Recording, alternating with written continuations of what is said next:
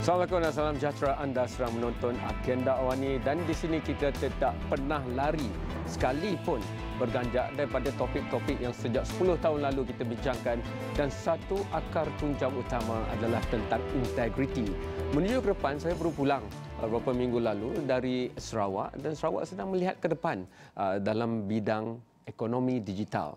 Dan mereka membawa Steve Wozniak pengasas bersama Apple dan sebagainya. Tapi yang masih walaupun dikatakan 60% pekerjaan dalam masa 3 hingga 5 tahun lagi sudah akan jadi pekerjaan baru kita tak tahu tapi satu nilai yang masih lagi mengikuti walau ke mana juga kita pergi adalah integriti. Saya beri contoh. Uh, perkara yang kerap dibincangkan sekarang adalah tentang Bitcoin uh, iaitu melihat pada blockchain dan juga um, shared ledger. Dan uh, di sana teknologi memberikan kita keupayaan untuk menyimpan satu data yang dipisahkan kepada mungkin ribuan komputer atau pelayan di seluruh dunia servers dan secara kelip mata mereka boleh menghubungkannya kembali dan itu memberikan integriti. Uh, di World Islamic Economic Forum yang berlangsung pertama kali di Borneo di Kuching di Sarawak kita membincangkan bagaimana itu akan merombak macam kalau bidang saya berita akan boleh di kenakan terus ataupun dihubungkan terus siapa yang membuatnya, apa faktanya, betul atau tidak. Malah uh, pembinaan wealth creation ataupun uh, tidak perlu lagi melalui institusi media, wartawan boleh berhubung terus dengan pengguna dan pembaca, pembaca boleh membiaya wartawan dan untuk uh, liputan itu. Itu berapa saya sanjung mereka yang berada di Sarawak, begitu jauh dan murni pandangan mereka, tetapi itu juga membawa soalnya semakin teknologi besar kita risaukan keupayaan teknologi itu untuk uh, mengubah nasib berjuta berbilion orang dan integriti menjadi sumber yang makin ditekankan dalam teknologi yang boleh mengubah uh, memberi kesan lebih besar berbanding dahulu. Sebab itu tak ada orang lain di Malaysia yang saya rasa lebih sesuai untuk membincangkan perkara ini. Daripada Datuk Dr Anis Yusal terima kasih banyak datang pada hari ini. Presiden dan Ketua Pegawai Eksekutif Institut Integriti Malaysia IIM Uh, saya ingin terus saja integriti Malaysia. Um, lama kita berbincang pasal integriti, uh, tetapi uh, masyarakat penonton mungkin lebih suka melihatnya daripada outcome ataupun hasil. Yeah. Mereka melihat banyak kes-kes yang berlangsung. Mereka melihat, ingatkan dah habis tiba ada kes yang melibatkan puluh juta, ratusan juta. Malah setiap kali keluar uh, ketua akaunten negara dan laporannya, lagi sekali mereka melihat bahawa dari kecil sampai kelah yang besar ya. masih lagi ada masalah orang yang tidak melaksanakan tugas mereka dengan penuh amanah hingga menjejaskan kepentingan awam. Jadi dalam ruang lingkup itu tadi saya bukakan harapan. Ya. Tapi saya berikan juga realiti dan saya minta uh, Datuk Dr. Anis untuk meletakkan di mana gamaknya kita nak letakkan purata uh, nilai integriti keseluruhan Malaysia dalam aspek ini? Biar saya menjawab uh, soalan Kamal itu uh, dalam tiga uh, bahagian. Yang pertama, saya rasa masyarakat keseluruhannya perlu faham kenapa kita perlu pedulikan pada integriti hmm. itu. Kepedulian itu penting kerana itu akan menterjemahkan kepada apa yang berlaku sekeliling kita. Pada waktu ini dalam konteks kepedulian itu, sejauh mana orang benar-benar faham apa yang betul dan apa yang salah. Okay. Kalau berdasarkan kajian, masih lagi menunjuk ini bukan hanya kajian pada para pelajar, tapi juga pada pada orang biasa. Mm. Rata-rata perkara yang uh, terang-terangan salah masih ramai yang uh, merasakan benda itu betul. Okay. Sebagai contoh, uh, ada orang yang bila kita tanya tentang mengambil benda pejabat untuk diguna uh, mm. uh, penggunaan sendiri, 30% rata-rata mengatakan apa salahnya. Okay. Membuat tuntutan pada perkara yang dah pun mereka tuntut, uh, dia dapat orang lain dah bayar tapi dia balik ke pejabat dia, dia buat tuntutan. Okay. Masih ada Berlaku. benda yang merasakan benda itu tak salah. Jadi kepedulian ini perlu kita tengok dalam konteks yang kedua, impaknya. Sebab bila kita melihat benda yang berlaku itu sebenarnya memberi dampak yang sangat tinggi. Hmm. Contoh kes-kes orang bila dia buat apa nama harga barang yang murah tiba-tiba dia charge tinggi okay. untuk keuntungan siapa juga impaknya pada ratepayers pada taxpayers dan pada kerajaan. Impak yang lebih besar kalau kita lihatkan duit-duit ini kos yang sepatutnya uh, menjadi hasil negara yang boleh digunakan untuk membiayai pembinaan universiti, sekolah yang lebih uh, berfasiliti tinggi dan sebagainya terpaksa uh, dihadkan kerana uh, kehilangan uh, ketirisan ini. Tapi dalam dua konteks yang disebut itu akhirnya adalah manusia atau pelaku, the actor. Jadi yang saudara kaitkan dengan laporan audit itu, kita boleh kenal pasti apa juga permasalahan. Hmm. Uh, rumusan akhirnya orang yang membuat ini yang perlu kita tangani. Okay. Kita boleh hukum dia, kita boleh pindahkan dia, tapi adakah ini menyelesaikan sebab orang yang menggantikan dia mungkin juga akan terus bila masa dah lama di dalam jawatan dan dia tahu di mana ada loophole dan dia akan menjadi orang uh, yang ambil kesempatan daripada keadaan. Okay. So titik tolak di situ sebab tu di Institut Integriti Malaysia kami sebagai agensi yang memantau pelaksanaan Plan Integriti Nasional cuba nak menggerakkan semua agensi-agensi pelaksana okay. supaya melihat the human side. Sebab itu, uh, saudara tahu dalam Plan Integriti Nasional, 8 sektor masyarakat yang menjadi uh, tumpuan atau target utama itu daripada institusi pentadbiran, institusi politik, institusi ekonomi, the private sector. Tunjang belakang kepada apa yang kami buat adalah institusi keluarga, family. Because apa yang kita lakukan ini bermula di rumah. Disokong oleh komuniti dan masyarakat sivil yang menjadi uh, steer yang yang akan menentukan kita jalan yang benar adalah institusi agama. Institusi agama juga punya peranan kepada penganut-penganutnya dan sosio budaya. Lapan sektor ni, aktor dalam lapan ini perlu digerakkan dan ini yang sedang kami usahakan. Kerana itu kembali kepada uh, melihat, memahami uh, manusia itu, kita memperkenalkan pelbagai instrumen dan instrumen salah satu instrumen yang kita perkenalkan adalah untuk menilai kita ada satu psychometric test tentang integriti. Okay. Ini dari segi psikologi sebab kita perlu faham uh, dan saya sedang membaca sebuah buku uh, bertajuk uh, Behave okay. dan buku ini sebenarnya menunjuk korelasi uh-huh. bagaimana seseorang itu tindakan dia dengan apa yang telah berlaku di sekeliling kaitan. Jadi sebab ada ketikanya bila orang itu membuat sesuatu uh, kebejatan dia mesti ada sebab dan kalau kita tidak memahami bagaimana permulaan apa akar umbi permulaan, we are just dealing with okay. what's on the surface. Jadi kita sedang uh, secara evidence based, mm. we are digging, kita nak faham di mana masalahnya okay. dan kita cuba menggunakan uh, pelbagai instrumen ini untuk kita menyelesaikan masalah sebab okay. nak ubah sikap bukan satu perkara yang yang Betul. mudah. Yeah. It takes a long time. Yeah. Jadi program-program ini perlu dilakukan secara okay. istiqamah, dia perlu diulang-ulang-ulang. Okay dia tak boleh hanya kita buat sekali kita panggil orang ramai-ramai. Kita kata marilah kita sama-sama berjanji untuk tidak lakukan. It's not going to work 13 tahun sudah uh, Institute Integrity Malaysia 3 tahun melalui Esra Awani. Esra Awani baru 10 tahun. Tapi 10 tahun terakhir tu memang Awani memang mengikuti. Sama. Mungkin kita nak lihat um, daripada jika integriti itu adalah pokok kita nak lihat dari akar sampai yeah. ke bucuknya Apakah keratan rentasnya selepas 30 tahun? Apa yang kita dah belajar? Kerana mungkin kita nak melihat kebaikan tidak boleh melihat kepada keburukan yang telah berlaku. Betul. Tapi mungkin integriti dan pokok akar tunjang itu telah pun menghalang kebejatan yang lebih besar itu berlaku. Itu saya nak dapat pandangan Datuk Dr. Anis selepas ini kerana mereka turun ke akar umbi bercakap dengan pemimpin paling tinggi. Jadi di mana keratan rentasnya selepas ini?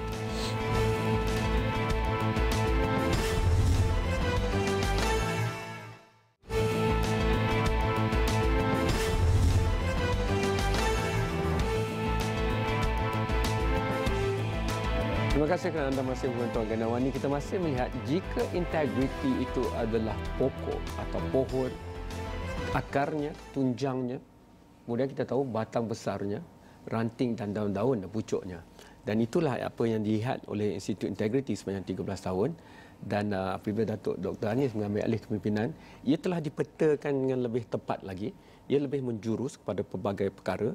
Sekarang kita ada suatu ujian psikometrik untuk menilai kalau contohnya saya nak mengambil orang kerja dengan awani mungkin psikometrik itu boleh digunakan ya. untuk melihat kesesuaian integriti orang itu uh, dan lebih daripada itu mungkin jika kita boleh letakkan macam kita lihat meter kereta itu panduan pada integriti keseluruhan di Malaysia Datuk Dr. Anis. Ini yang uh, telah kita usahakan dua tahun uh, setengah yang lalu kita telah menyediakan apa yang kita panggil dashboard integriti dan dashboard integrity ini, uh, saudara uh, biasa sebab saya pernah menggunakan dashboard ini dalam konteks uh, perpaduan kaum. Yeah.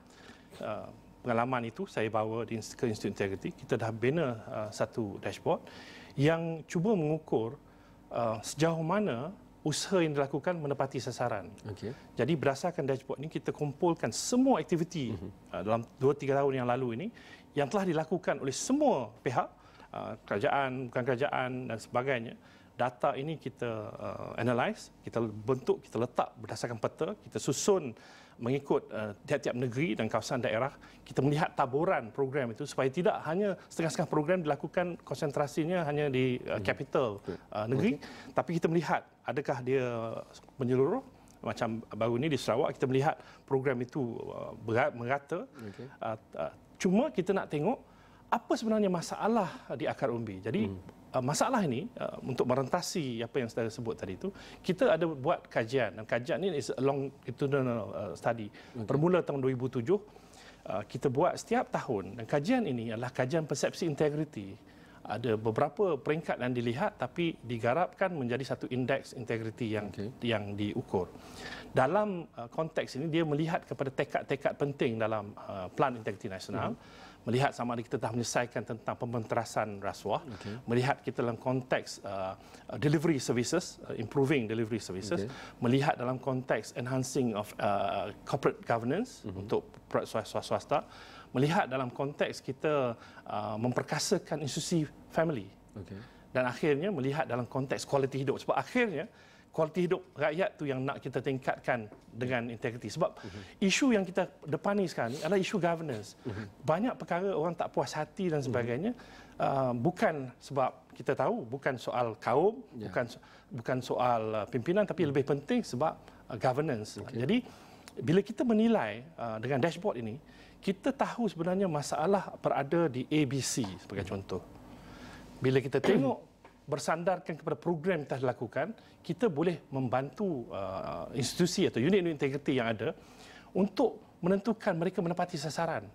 Masalahnya di sini, aktivitinya mungkin uh, melihat perkara lain. Ya. Jadi sebab itu uh, bermula uh, beberapa bulan yang lalu kita turun ke akar umbi, kita buat program roadshow. Right. Kita dah cover uh, dua minggu lalu di Johor, kita dah pergi ke Sarawak, kita okay. dah ke Penang, kita dah selesai di Selangor, kita akan buat di Pahang tak lama lagi. Kita cuba uh, dan ini bukan hanya uh, top down tapi yang lebih penting kita nak dapat bottom up input. Jadi dan um, waktu di Johor saya cuba mengetengahkan idea bagaimana perkara ini boleh turun ke daerah. Uh-huh. 13 tahun dulu plan integriti diperkenalkan. Okay. Kita tak boleh hanya duduk di peringkat federal. Mm. Dia perlu uh, ada plan integriti negeri yeah. dan uh, yang kami sedang usahakan supaya ada plan integriti daerah.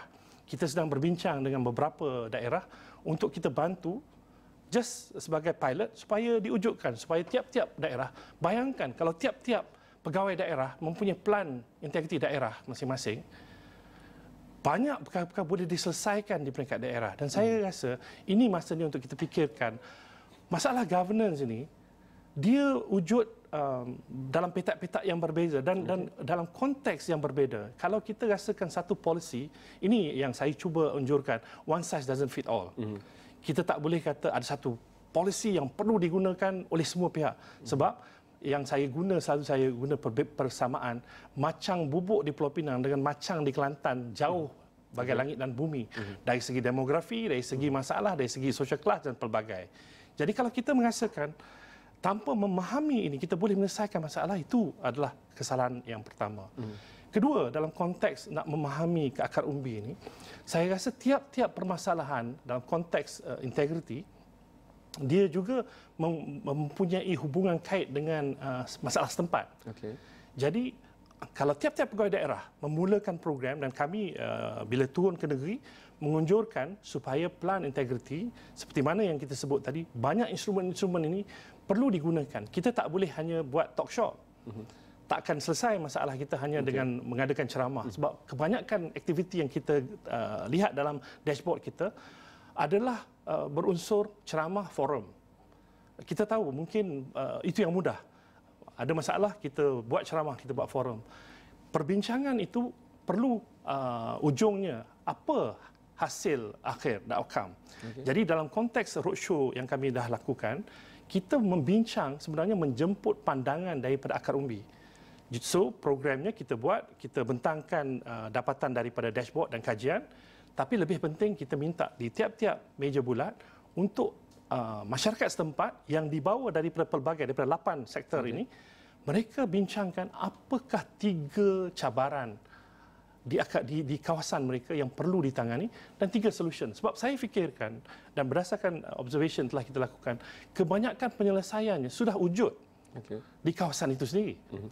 Dan bila kita lihat uh, ada penyelesaian di sini yang boleh digunakan di tempat lain dan kita belajar dan ini uh, best practices yang wujud di tiap-tiap kawasan ini perlu kita perkenalkan. Okay. Secara tak langsung kita empower the community that you can deal with this problem. Ini bukan hmm. satu perkara besar yang perlu dibawa untuk dibincangkan okay. di peringkat kabinet. Hmm. Kalau semuanya perlu penyelesaian hmm. uh, di uh, kabinet saya rasa susah kita kalau apa yang digerakkan oleh Institut Integriti ini menjadi maka kita tak akan membincangkan tentang ahli parlimen masih lagi melihat masalah longkang, masalah rumput, Betul. jalan raya dan sebagainya. Bukan itu pun kerja dia. Ya. Jadi kita pergi rehat terakhir apabila kembali. Cuma saya nak garapkannya kalau ia tidak diletakkan untuk mempengaruhi sumber pengagihan kuasa, sumber pengagihan kemakmuran negara, Maknanya kalau tempat itu, kampung itu, daerah itu lebih menunjukkan nilai indeks integriti yang tinggi, maka mereka berhak untuk mendapat sumber yang lebih, lebih. daripada apa yang sepatutnya. Ya.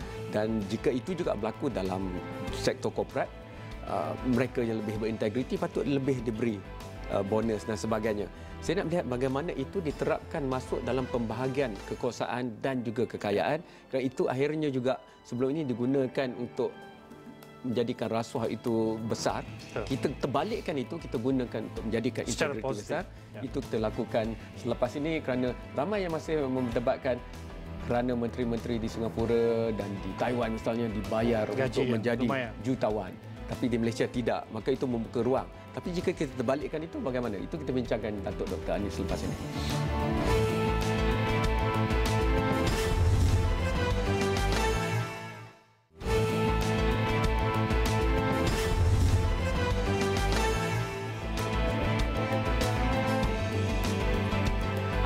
masih lagi menonton agenda awal ini. Kita masih bincangkan tentang integriti Malaysia, masyarakat kita di mana kita berada.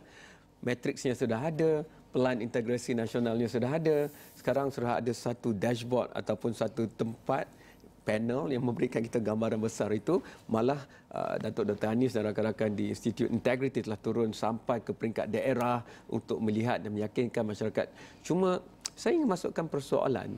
Ada banyak negara yang cuba menyelesaikan masalah ini seperti juga kita. Ya. Dan uh, ada negara yang memberikan gaji kepada penjawat awam mereka tinggi. Tapi kalau saya lihat, negara itu juga semakin menghadapi masalah di mana generasi muda mereka tidak melambangkan apa ya. yang mereka nak itu. Kerana selama ini mereka ditekan ditekan kerana mereka merasakan mereka yang terkuat. Ya. tetapi integriti juga bermaksud kita mempunyai kebolehan untuk mendengar apa yang bertentangan dengan pendapat kita dan kepentingan kita untuk masa depan. Dalam konteks itu itu yang saya nak tanyakan kepada saudara ini semacam juga komunikasi. Jika syarikat ataupun kementerian hanya meletakkan komunikasi itu selepas semuanya Dah dibincangkan berlaku maka ia hanya telah jadi suatu kalau dalam kertas ia jadi satu kenyataan akhbar ya. jika komunikasi dimasukkan dalam pembincangan ya. di peringkat lembaga pengarah maka ia boleh memperkasakan ya. uh, perkara itu sama dengan integriti pelan uh, komunikasi kami dibuat semasa kita merancangkan apa yang kita nak buat mm-hmm. meaning to say dia built in okay. sebab saya percaya uh, apa yang saudara cuba explainkan tadi itu dalam konteks mungkin uh, negara terdekat kita dia benar mewujudkan satu masyarakat yang uh, law abiding uh-huh. citizen. Tapi dia keluar daripada negara dia belum tentu. Uh-huh. Kita cuba nak nak createkan uh, God fearing society. Okay. Jadi dalam konteks itu apa yang kita lakukan dashboard dan segala instrumen baru yang telah kita uh-huh. perkenalkan. Sebab kita nak ubah, nak alihkan daripada hanya bercakap-cakap tapi yeah. kita perlu terjemahkan uh-huh. berdasarkan siapa yang boleh melakukan yeah. perkara yang baik. So dalam konteks ini kalau saya buat perbandingan kebanyakan negara-negara maju yang uh, top 20 tak kisah sama dalam konteks indeks uh, ekonomi mm. yeah. uh, on innovation mm. ataupun indeks uh, happiness index okay. apatah lagi kalau yang lebih dekat dengan saya uh, dalam konteks UNDP Human Development Index okay. yang lebih menyeluruh uh, juga kalau kita lihat peace index okay. dan juga uh, corruption perception mm. index now you tell me uh, bila negara-negara yang berada di atas lebih kurang dalam semua indeks ni hmm. negara-negara yang sama the Scandinavian yeah. countries uh, boleh nampak boleh nampak hmm. pattern dia sama dan negara-negara ini juga kalau kita lihat dalam konteks gross national income 30-40 ribu dolar hmm. uh, per annum. Hmm. Dan saya pasti kalau kita menempat, meletakkan Malaysia antara negara 20 yang terbaik itu juga, saya tidak langsung benda ini akan cascade down. Rakyat juga, sebab tu saya per, per, apa, uh, strengthen perkataan quality of life masyarakat. Okay. Ultimately, kita nak masyarakat kita yang hmm. mendapat kualiti hidup. Okay. Apa dia kualiti hidup? Dah tentu dalam konteks kesihatan, hospital um, ratio doktor dan masyarakat dan dan rakyat ratio katil di, di hospital perlu uh, sama taraf dengan negara-negara yeah. uh, membangun. Kita dalam konteks itu kita perlu uh, melaksanakan dan di, di sini yang saya cuba uh, perjelaskan kepentingan integriti. Kenapa dia perlu dipedulikan? Mm-hmm. kalau ada integriti ekonomi membangun dalam konteks itu bukan um, hanya mau maju tapi yeah kita neglect integrity. Mhm. Dia perlu hand in hand. Uh, sebab itu kita rasa masyarakat perlu bermula daripada anak-anak dan ini program yang kita dah lakukan mhm. juga. Kita ada modul untuk uh, kindergarten nak membentuk sasiah diri akhlak. Mhm. Masalah kita ketika seorang bayi itu dalam kandungan ibu Tuhan menjadikan hati dulu sebelum akal. Kita sibuk bila anak keluar, kita nak anak tu pandai. Betul, semua anak-anak dia pandai. Tapi kita lupa untuk menyentuh hati anak-anak makin anak tu besar, dia sampai ke peringkat universiti, kepala dia besar, dia jadi uh, big headed. Yeah. Dia pandai tapi pandai menipu. Uh-huh. Hati dia makin kecil makin kecil dan dia become heartless. Relating benda ni kepada pembangunan negara bangsa dalam konteks apa yang kita bincangkan, saya rasa di sini pentingnya bila distribution uh, wealth itu meningkat, diagihkan, ultimately kualiti hidup meningkat dan masyarakat di di desa juga akan mendapat Uh, pembangunan. Dan dalam konteks ini seperti yang saya sebut, politik baharu yang yang yang kita perlu uh, terjemahkan supaya setiap orang punya peranan. Jadi ahli parlimen kita hantar sebagai wakil rakyat untuk berada di parlimen memperjuangkan uh, dalam konteks undang-undang akta supaya uh, okay. menentukan kebaikan kepada uh, rakyat di bawah. Jadi dia tak perlu dirisaukan atau dibebankan dengan masalah longkang. Okay tiap bahagian ada. Ini integriti yang nak kita okay. uh, perjelaskan. Itu sama-sama kita fikirkan dah dekat dengan hujung tahun. Bagus kita merenung kembali ke belakang untuk kita memetakan perjalanan kita ke depan. Terima kasih banyak kepada Datuk Dr. Anis dan rakan-rakan di Institute Integrity Malaysia. Semoga terus melangkahkan kejayaan bukan saja untuk Malaysia tapi mereka juga bercakap dengan rakan-rakan di seluruh Asia Tenggara dan sebagainya. Kita mahu dunia yang lebih baik untuk generasi masa depan. Kita hanya ada satu bumi dan jika kita tidak ada integriti, anda boleh hantarkan masalah itu pelbagai kepada pelbagai saluran yang ada di Astro Awani. Kita sama-sama akan terus perhatikan dan insya-Allah di Twitter, Facebook ataupun Enjoy Awani pun ada muat turun aplikasi mudah alih iOS dan Android tanpa media ketulusan sukar untuk digarapkan dan insya-Allah kami akan sentiasa bersama anda masyarakat Madan dalam hal ini. Jumpa lagi. Okay.